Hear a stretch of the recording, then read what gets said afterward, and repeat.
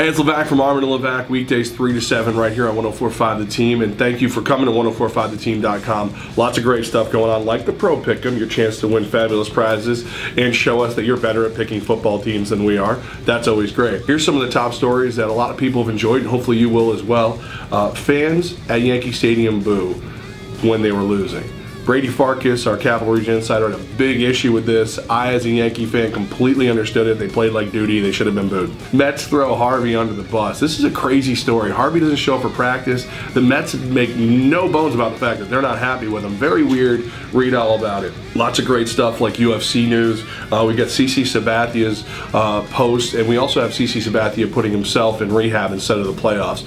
Crazy story as well, and they're all available for you right here at 1045theteam.com. Have a great day.